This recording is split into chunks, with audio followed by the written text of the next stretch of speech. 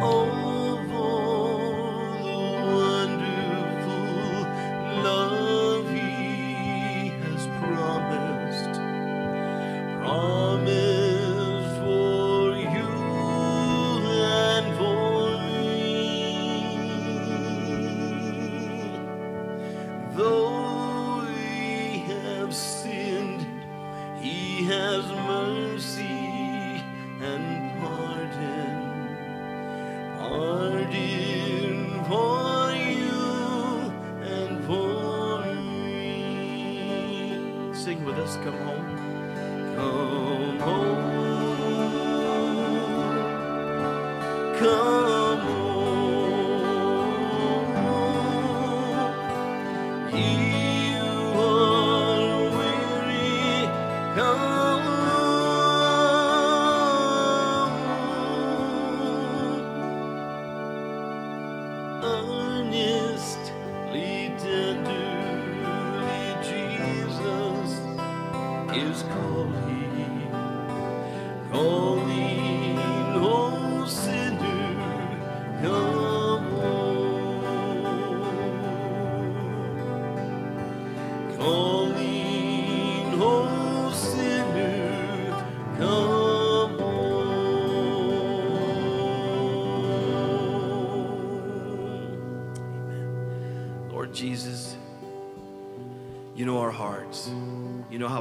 we've strayed from you and how desperately we need to be close to you. Jesus, take the next few moments and bring us to your heart. Thank you for the words we'll hear. Thank you for the Spirit you've sent. Jesus, speak to us, change us. Jesus, please use us.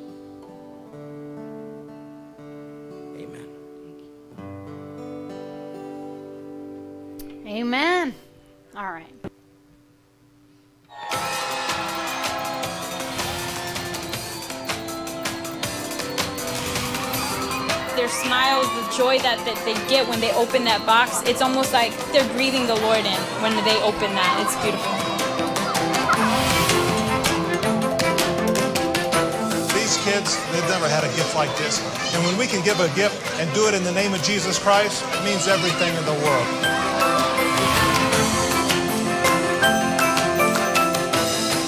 Not only did I receive a gift, but I also prayed to receive Christ as my Lord. Christmas!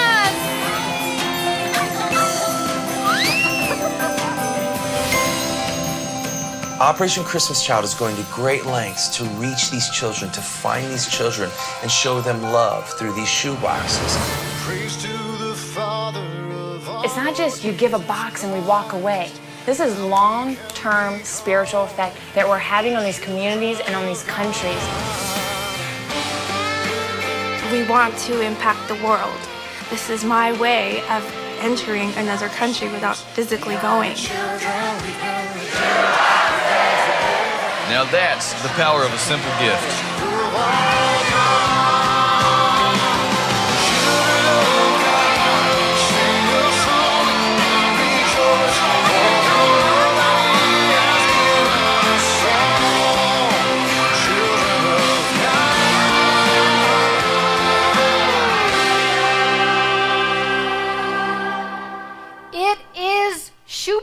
Time.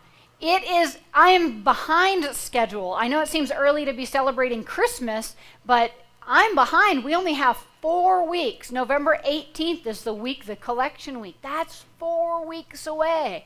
So the shoe boxes are back there, right? Faith, kind of wave, faith, and then point down. The shoe boxes are right down there. So grab a shoebox in your program. You'll see an Operation Christmas Child how to pack a shoebox, kind of one through five. Pick up the shoebox, fold it up, decide whether it's going to be a boy or a girl. Uh, I, I don't have the labels ready, but just decide whether it's going to be a boy or girl, and you can see the age groups there. Fill it up with gifts. And if you guys don't want to necessarily pack a shoebox, but you're at Walmart or the dollar store, and you, hi, little Chester, this is Chester, Chester Marie. If you um, are at Walmart, dollar store, and you see a bunch of toys, but you don't necessarily want to pack a shoebox, then grab a bunch of gifts and you can bring it to us and we can pack it for you. That's okay. Um, it says there to include a $7 donation. The Southwest Church will cover the cost of that. So when you see on the brochures, when you see on the boxes to put $7 in the box, don't worry about that. The church will take care of that. We appreciate you just participating, just putting your heart into it. It's so fun to buy these little gifts for the kids, but we don't want you to have to worry about putting a check in there as well. Um, and then drop off, just bring it here. Uh, Charmaine and Cherish did a little Christmas tree for us. We have a couple little gifts under there. Just start bringing your gifts anytime and stick them under that tree.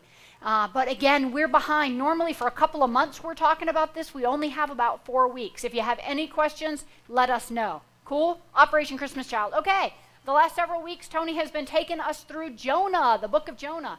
Chapter one is what Tony has brought us through for the last several weeks, where we see God's request, Jonah's refusal. Remember, God said, go. Jonah said, no. Do you remember? God's request, Jonah's refusal, the storm's rage, the sailors' responsibility, they had to throw Jonah overboard to protect, to save the lives of the other people on board. And then the fish's rescue. How would you like to be rescued by a fish like that? He was, now did this actually happen? Is this just kind of a, a fable, a fairy tale, a kid's bedtime story? I think we could have invented a better kid time story than being swallowed by a huge fish. This actually happened. And people, a lot of people will say, well, I don't believe the Bible because a man couldn't be swallowed by a fish and survive. There have been situations where people have been swallowed by fish, usually whales. The Bible doesn't actually say it was a whale. We just kind of put two and two together and know it's a big fish. And they've survived. They look nasty, though. They're all white and bleached from the stomach acid. Can you imagine? He looked like Tales of the Crypt probably when Jonah got out of that fish. He must have looked scary. No wonder they repented. If some dude was running around our city and looked like Tales of the Crypt saying that God was going to destroy us, I might repent too. This week we're going to be looking at Jonah chapter 2. This is Jonah's reevaluation. That's where we're going to be this morning. And then over the next few weeks, Jonah chapter 3, we'll see God's ruling, which is a nice word for his judgment, and Nineveh's revival. And then in Jonah chapter 4, we'll see Jonah's resentment and God's response. But for this week, we're in Jonah chapter 2, Jonah's reevaluation. Is it good to reevaluate in general? Are you one of those people? You know, some people just make a decision and they just move forward no matter what. They just move forward. And other people, they make a decision and they reevaluate and then they make a different decision and they reevaluate. And they, I mean, both, it's, it's not a right or a wrong. Tony and I are a little different in this way, where I generally tend to make a decision, and once I make a decision, I, I reevaluate. But like when I decided to go to medical school, I had made a decision. It didn't matter how hard it was. It didn't matter how much I liked it or I didn't like it. I made a decision, and that's what I did. Um, and I tend to just kind of forge ahead. Where Tony is one who tends to reevaluate a lot. He'll make a decision, and then as soon as he's made that decision, everything looks a little differently. And then he can kind of say, Ooh, I'm not sure that I actually like where this decision is heading. I think I'll reevaluate and kind of tweak it and move over there a little bit. Um, I appreciate that about him. He says I tend to get more things done because I make a decision and I just stick with it. But he probably tends to get smarter things done because he reevaluates the entire time. It's good to reevaluate. In life, in relationships, it's good to reevaluate. This morning we're going to talk about how it's good to reevaluate your relationship with the Lord. But in general, it's good to reevaluate. Check out this puppy who's reevaluating how to walk on a treadmill. you just like that rocky music with it. He's trying to figure out how to walk on a treadmill. That's not it. The other dog tries to help him out. Mm, that's still not it. It's cute watching his process. He thinks through, how can I get on this treadmill?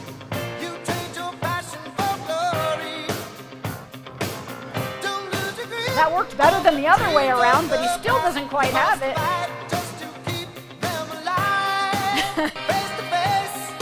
he looks like he pretty much got it. He just got pooped out.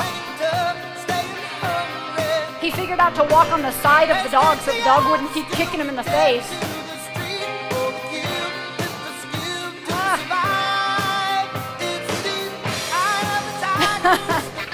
he figures if he just does it with his front paws, maybe. Maybe that right side's too hard, so he goes to the left side of the treadmill, or vice versa. I like this. He's trying to get the speed of it.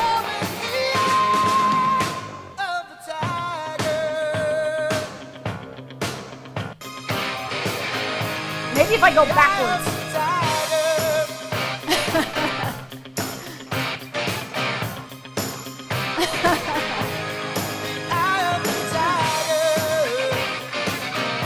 And I wish I had good news for you. The dog didn't figure it out in this video. But do you think the dog finally figured out how to walk on the treadmill?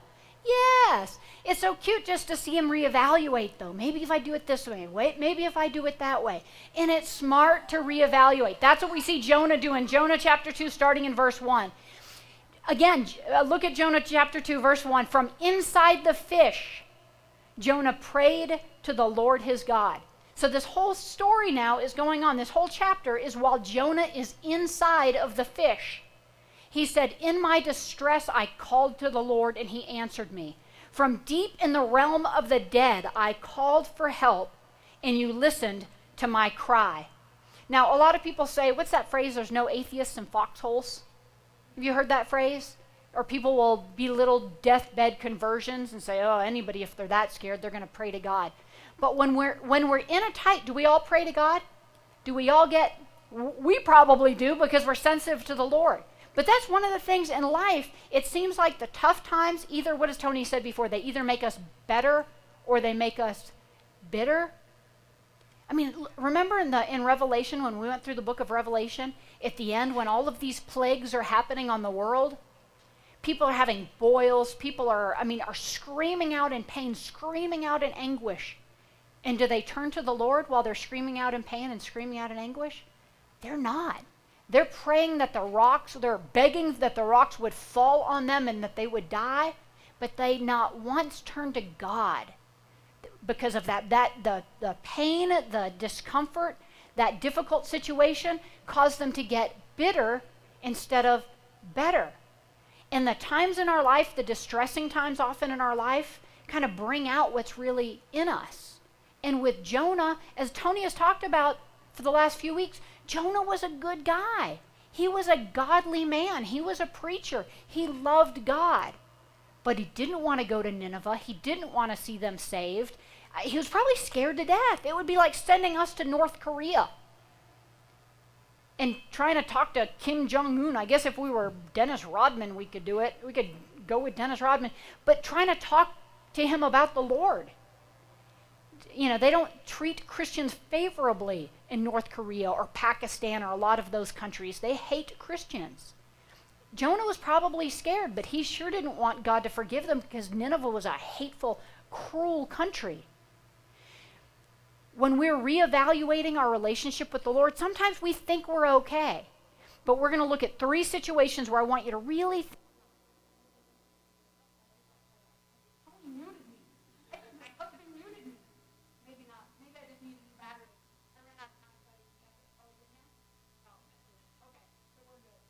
Number one, when you're distressed, consider do you call out to God on the next slide? Next slide. Do you call out to God or do you curse God? You're probably going to do one or the other. Now, if you've had a tough situation lately and you didn't do either, you just kind of ignored God, that's a, that's a bad situation. I mean, again, we're looking at reevaluating your relationship with the Lord. When the last tough time happened, you kind of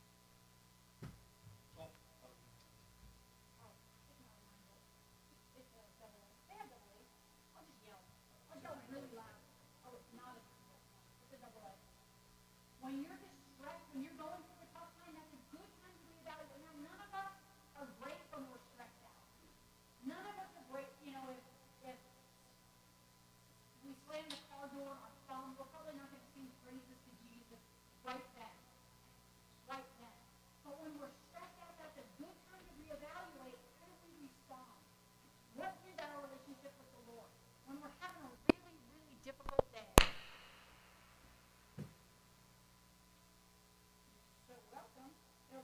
take a minute to pick up. But Ooh. I'm hot. When you're having a difficult day, when you're stressed out, maybe turn it down a bit. Do you call out to God? Are you one of those like Jonah that in, I mean in the fish, he could have just as well said, "You know what? God, forget it. I knew I shouldn't have served you. What good are you? I'm sitting in this stinky fish. This acid's burning all my hair off and my skin is all nasty. It's no good serving you." He could have.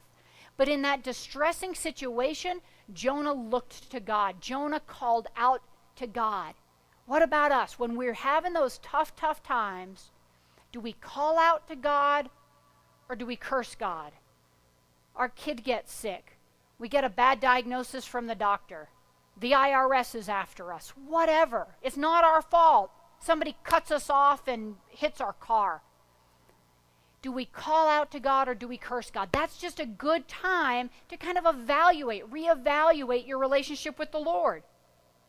As Tony has said before, when we're squeezed in life, whatever's in us like a sponge is going to come out. If I put a sponge in water and I squeeze it, what's going to come out of it? Water. If I dump a sponge in vinegar and I squeeze it, what's going to come out? Stinky. He hates vinegar. Vinegar is going to come out. If I have God in me and my life is just filled with godliness and sensitivity to God and others, when I'm squeezed, God should come out. Again, none of us are on our best behavior when we're having a rotten time. Now, if I get squeezed and cuss words come out, and bitterness comes out, and hatred comes out, then what's probably inside of me?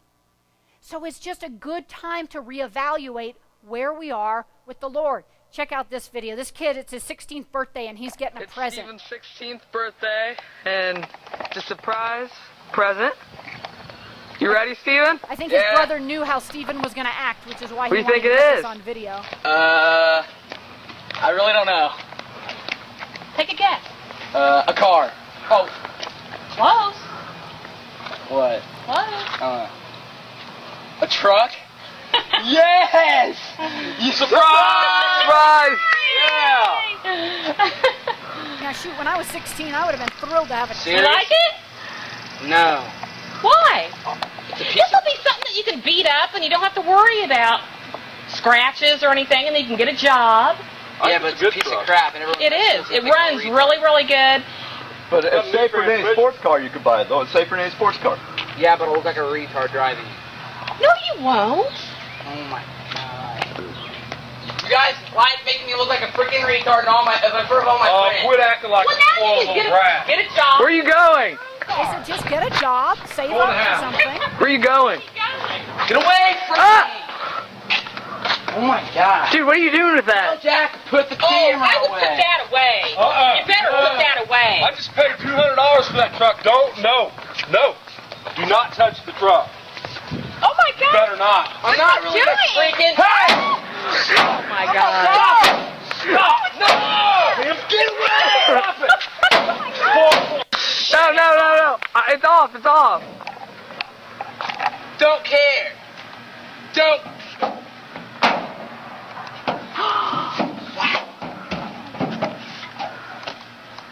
Stephen, cut it out. Don't you wish Oh my your God. Give me the camera. No, no, Get- no. kid? And the little brother's laughing his head off. You think the little brother knew how Stephen was going to react? Yeah, Stephen has a bit of a reputation, it seems. When, squ- when Stephen gets squeezed in life, now, if he would have gotten a brand new car, how would he have acted? If he would have gotten a sports car, nice Camaro, oh, he would have looked like the nicest, sweetest, most appreciative kid. That's not the time to reevaluate where we are in life when things are going right. When we're distressed, when the, the squeeze is on us, that's a good time for us to kind of sit back and reevaluate. It's not going to happen automatically. I mean, Jonah, what was Jonah's first reaction? Jonah said no and he ran. But when the squeeze was on Jonah, when he was sitting in that fish thinking, instead of cursing God, he called out to God. Unlike Stephen. Can you imagine being married to that kid in 10 years? Ugh, ugh.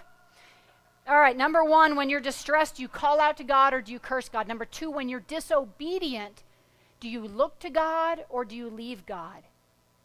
You guys have never disobeyed God before, right? You've never done something that you knew was wrong, you knew you shouldn't do it, but you just, ugh, oh, I know I shouldn't do this, but God will forgive me. And you do it anyway? When you're disobedient to God, do you say, ah, forget it? It's just too hard. This Christian life is just impossible. It's too difficult. I'm just going to live for the world. Or you don't say it necessarily. But do you leave God or do you start really missing God? You miss that fellowship with the Lord. You miss that closeness and you follow God. Look at verse 3. Jonah says, You hurled me into the depths, into the very heart of the seas, and the currents swirled about me. All your waves and breakers swept over me. Verse 4 And I said, I have been banished from your sight. He knew he had blown it. He knew he told the sailors, You have to throw me overboard because I've sinned. Even though he knew God was punishing him, he knew it wasn't God's fault, it was his own fault because he disobeyed. He said, Because I've disobeyed, I've been banished from your sight. Yet I will look again toward your holy temple. The engulfing waters threatened me, the deep surrounded me. Seaweed was wrapped around my head.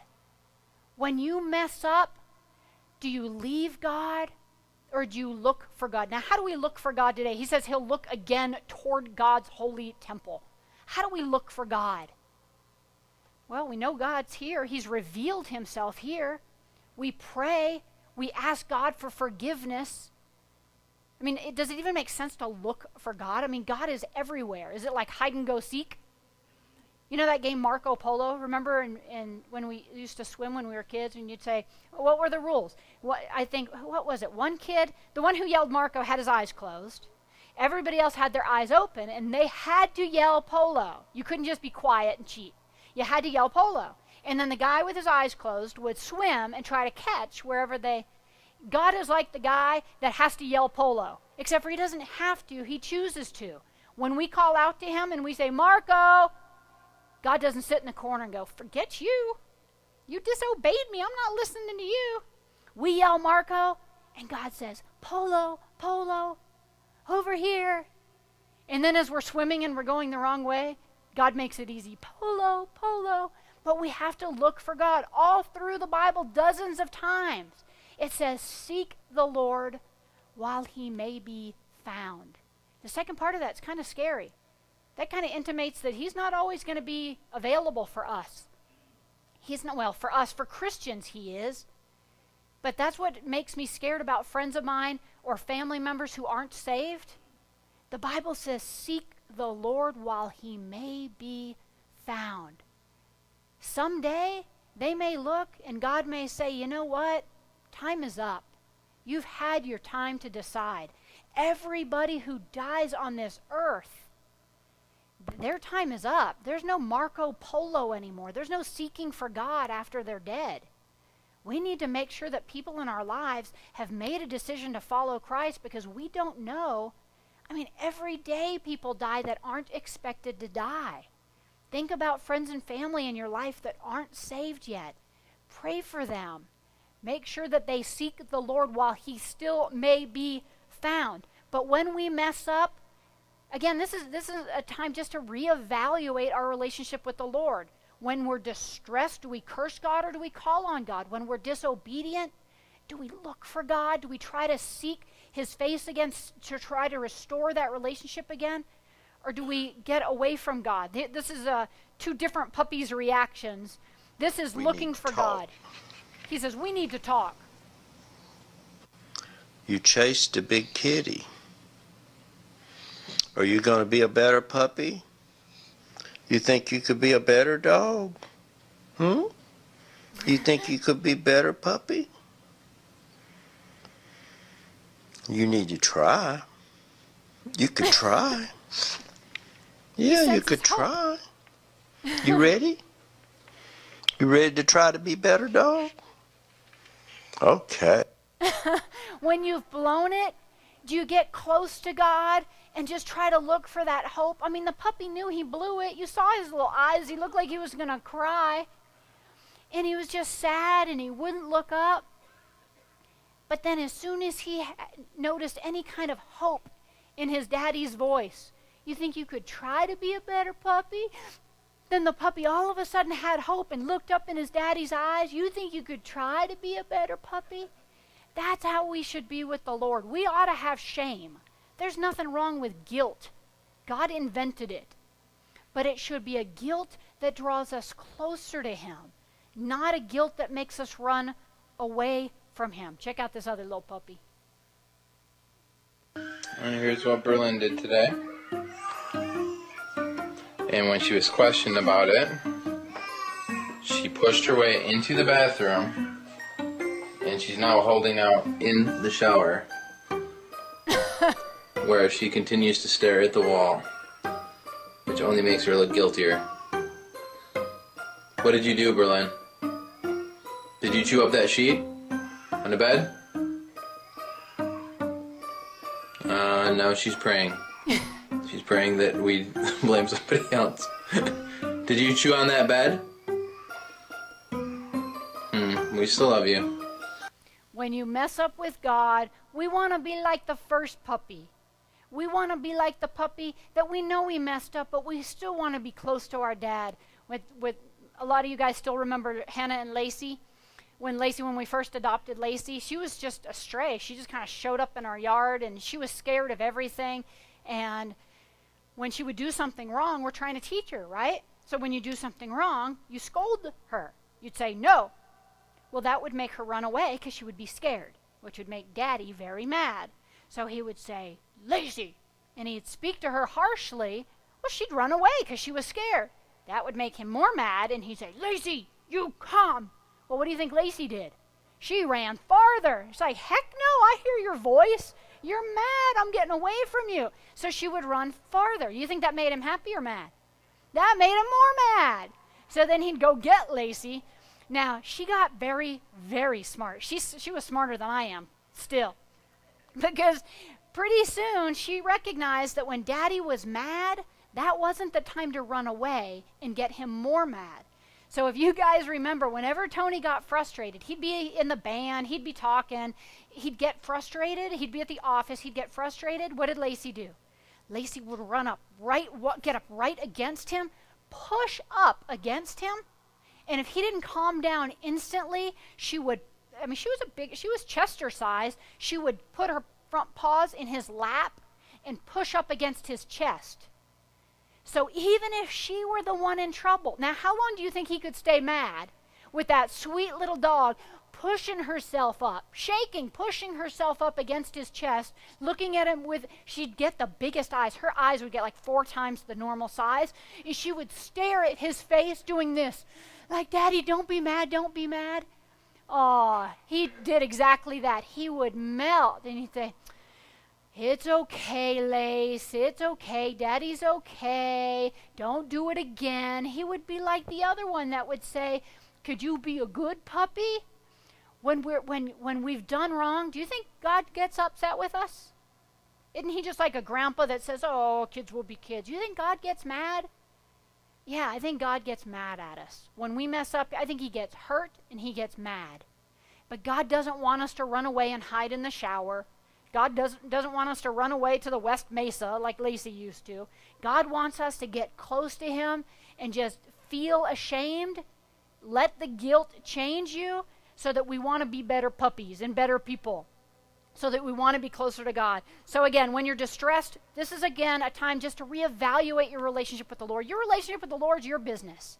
Our, our Tony's job, and I'm just his help meet.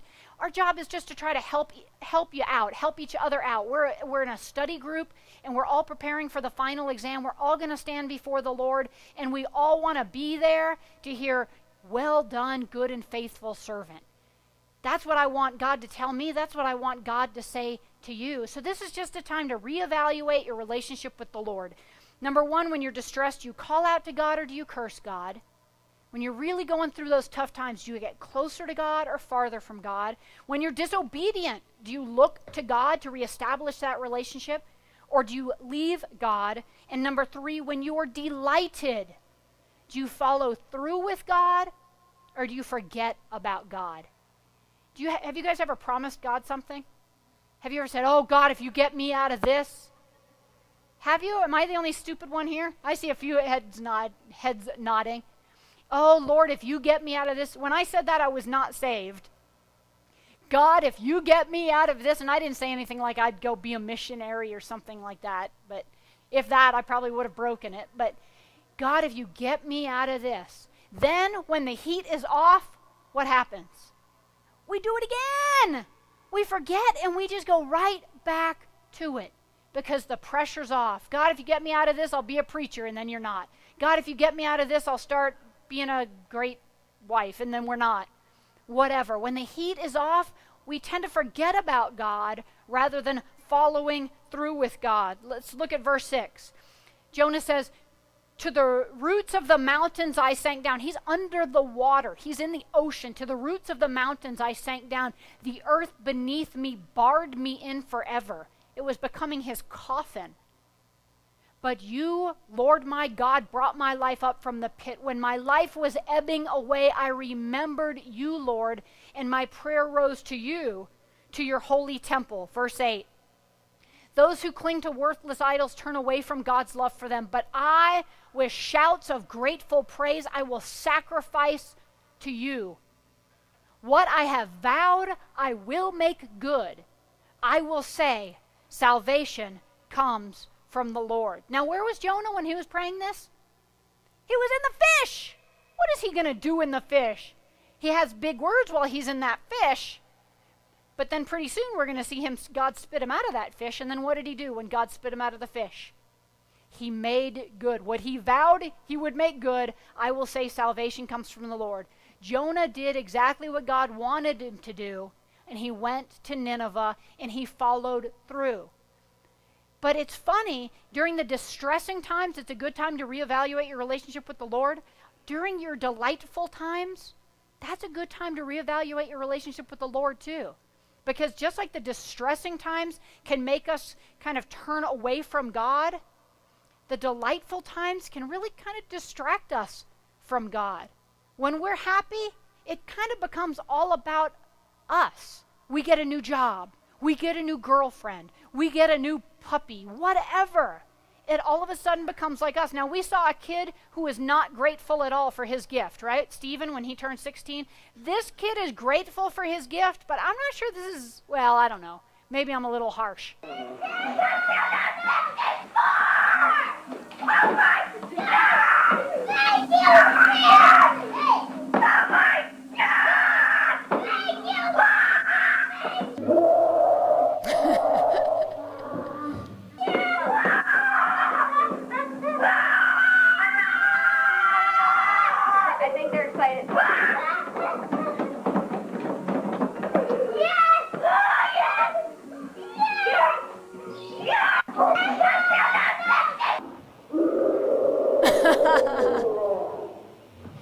Kid appreciative for what he got?